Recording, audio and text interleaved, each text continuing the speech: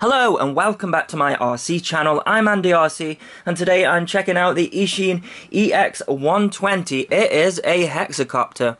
Now I'm a big fan of brushed hexacopters you may have seen in the past when I have built custom ones and that used to be the case you had to go custom if you wanted a brushed hex micro. I used to take the Alien Wii hex board and get that flying and also the frame from microfpv.eu, but we don't need to do that anymore because this is a bind and fly brushed hexacopter. I have to make sure that I call it a hexacopter throughout and not quadcopter. I'm so used to doing that. So what do we have? Well, it's got a carbon fiber frame. It's sort of an all-in-one frame so I guess if any of that snaps you'll have to replace the frame. We have got 8mm coreless motors here, so we should have plenty of power. And then we have got one of these all-in-one FPV cameras. I think it's the Eachine EF01, one of my favorite FPV cameras that are all-in-one. So it's got a video transmitter and camera at the same time. So it's a CMOS camera. And it's a little bit heavier than the all-in-one cameras that we are used to, but because this is a hexacopter, it has got a little bit more power than we have with a quadcopter. So I really like the configuration of this one. It's a really nice frame. So we have got nicely colored propellers for orientation. So two black at the front there and then we have these orange ones here and you can also see at the back as well we have a LED strip which is configurable via the DIN, so it's connected to the flight controller. And we also have got a voltage buzzer on here and a lost model alarm as well. However, mine wasn't set up as a lost model alarm, so I'll go through that a little bit later. The flight controller is a SP Racing F3 Evo. It is configured in 90 degrees, so it's facing that way. I guess that is to fit it in this frame a little bit better. So it looks like we've got a micro JST connector here which the camera is plugged into and then underneath here we've got sort of like this foam pad. Uh, Eachine love to use foam pads and that seems to be keeping all the wires in check. Now the motors are plugged in using again 1.25 pitch 2 pin JST connector so if you have a motor burn out then I guess you can swap them quite easily. then we have a rubber band here for the battery. So this is a two cell model which is nice. So we've got a Eachine branded 450 milliamp two cell battery with a balance port using micro LOSI there. So the quadcopter weighs 64 grams in this configuration. And then with the battery it's 86 grams which isn't bad at all for a hexacopter. So as I say, it's a bind and fly. So it's come with the FlySky A8S receiver. So it's an iBus receiver, which is very similar to S-Bus and the antenna is just sort of tucked around here. However, you can see that we have got access to the bind button easily, so that is just there. I've also got this nice platform on the top as well. I think a lot of people will be wondering, hmm, could you stick maybe a Mobius Mini on there? But I don't think so. I think that's slightly too big and the propellers would catch. You could probably hang it underneath, but really this one is going to be an acro flyer. You don't really want to add a Mobius Mini on there and if you do want to do that I would suggest decasing it and I think it would pull it because two cell battery but of course this band here really is for the battery to go underneath there. But yeah it's a nice design. I like it. The only thing that I notice with it really is the camera isn't in very securely.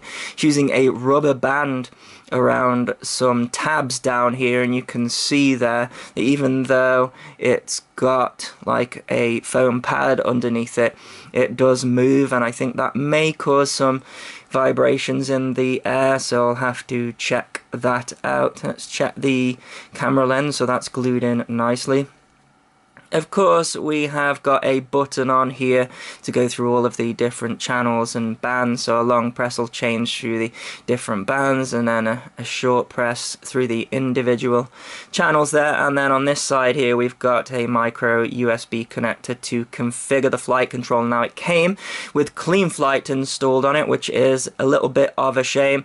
Now I have gone ahead and installed Betaflight on there because we do have a bootloader pad on this flight control. It's one that I've used quite a lot in the past. The, the micro Losi comes out of the side there. So I'll show you my Betaflight setup.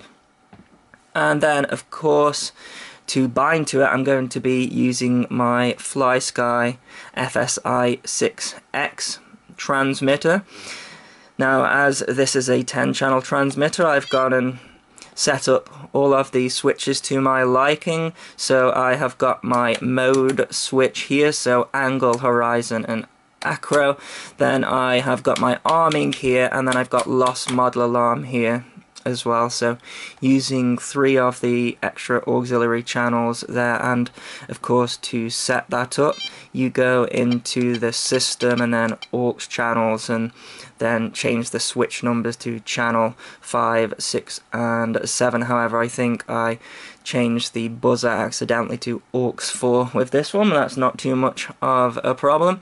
So let's see what else you get given in the package. So looks like we've got a spare set of props only this time the colour is reversed. So we have got two orange and then we've got four black in there. So let's take a look what else is in this little package here. So we have got a USB charger here for the battery and that charges via the balance port. Got a spare band and we also have got a velcro strap as well. However it doesn't have one of those feed through gaps in it so I don't really like these velcro straps. I'll probably just stick with the band that's underneath. We also got some velcro here as well probably to attach to the battery so you're not given any, any spare batteries in this package which is a bit of a shame.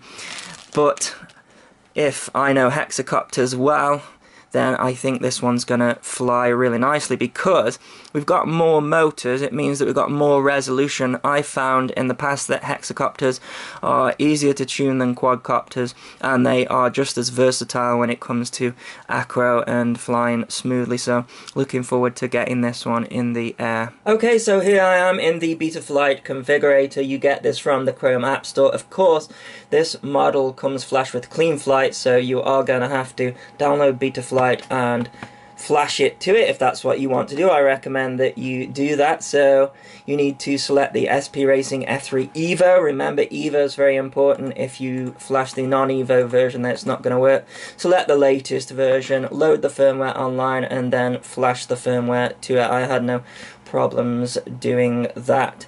So you can see there that I've got the hexacopter plugged into the computer via a USB cable and it's saying COM20 up the top there so let's connect to it and I'll just show you the different settings that I changed. I'll go into expert mode here so if you go into the ports you can see that. Now this is confusing me about Betaflight. Can you see that I seem to have three UART1s. I don't know if that is a mistake. If you know let me know in the comments but the last time I had this issue I seem to have a conflict with telemetry but there's no on-screen display with this model so that shouldn't be too much of a problem. So we have got the serial RX switched on on the UART2 for the receiver. So let's go into the configuration here. Now this is important when you set it up in Betaflight you need to set up the mixer as a hex X and you also need to set the board alignment to 90 degrees as well otherwise it won't fly very nicely. And then it's set to brushed up here and we've also got the PWM frequency set to 16,000 and I've turned motor stop off because I like to have the motor spin up when I arm it and then also this option ticked here because I'm going to be arming on an auxiliary channel. The minimum throttle set pretty low at 1040, the max throttle 2000 which is correct for FlySky.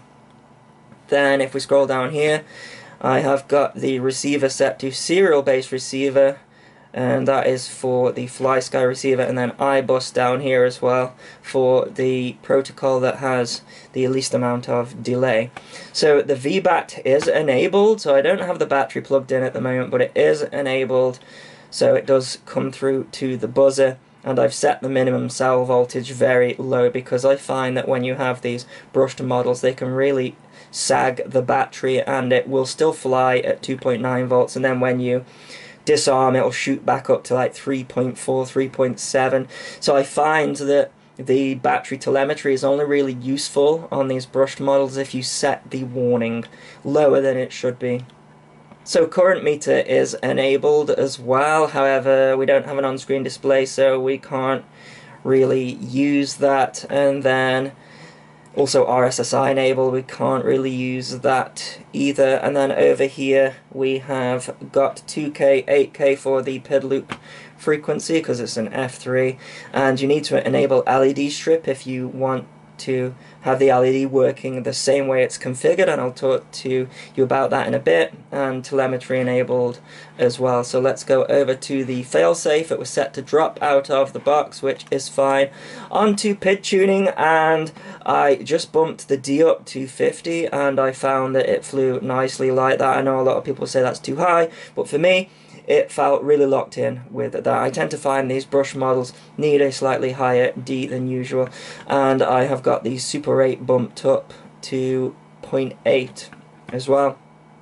So everything else here is standard. Then if I go on to the receiver tab here, I'm just going to turn on the transmitter so you don't need the battery plugged in for the receiver to power up which is nice. So we've got AETR for FlySky there and then you should be able to see my different modes there so and my aux channels as well and I've got this aux channel set up incorrect so it's set to aux 2 and aux 5 I messed up a little bit but that's fine.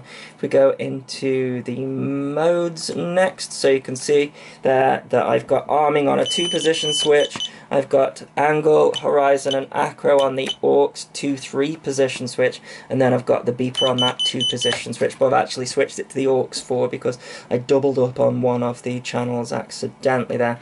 Now LED strip, if you want to move over to Betaflight and keep the LED sequence so you can see it here then you have to go into the CLI and save the information so if I go into the CLI first of all going to type version so you can see.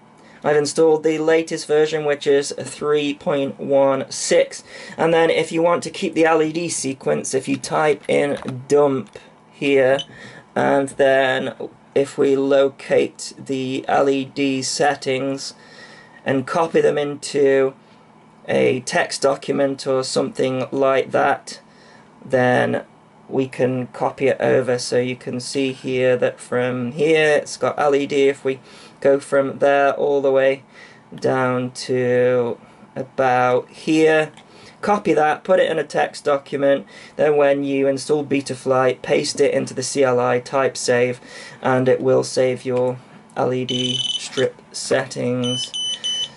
So there you go, that is my settings in Betaflight. So I'll just show you here what those LEDs do when we move the controls. So when you arm, the lights go blue, and then if you throttle up, nothing happens. However, if you put in roll, then this one flashes yellow, and roll left, this one also flashes yellow. Back, they both flash forward, nothing happens, and yaw Let's just see that. I don't know if I'm accidentally, I think I am accidentally catching there. Yeah, so yaw does nothing. Of course, you are going to need something to view the FPV feed. I'm going to be using my Fat Shark Dominator HD3s with the Fat Shark Diversity Receiver Module, a Invader patch antenna, and a Aomway cloverleaf antenna. It's right hand polarized to match the polarization of this model here. Okay, let's go for a takeoff. It is such a gloomy day, so apologies for that. For those lights going as I'm putting the controls in there. Let's go for a punch out. Wow, that's great. Loads of punch.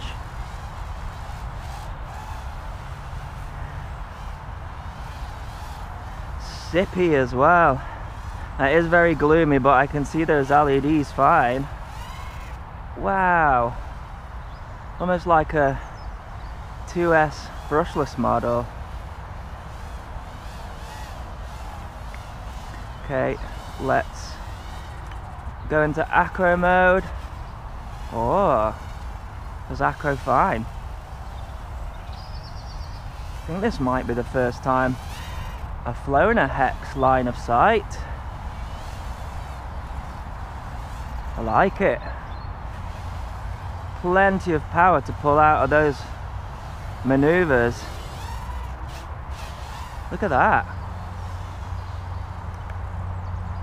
Okay, let's get close up to the camera if I can. Fairly windy day, but it's coping with it fine. Ah, I love a hex. Feels pretty smooth.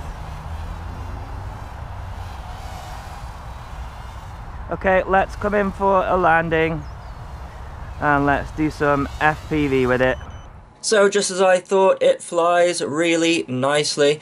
Now there is a little bit of vibration coming through from the camera, but I think that's because it is secured using that rubber band, and I think if I maybe cable tied it to the frame, then I wouldn't get that. The flight time was really good, 4 minutes 40, so can't complain about that at all. The range was really good as well with this receiver and also the 25 milliwatt camera, so yeah, I really like it. Flies really smooth and there's not any props in shot either because they are nicely spaced apart. So I'll put a link in the description if you wish to get one. I'll leave you with some flying. As always, thanks so much for watching. Please continue to subscribe. Cheers.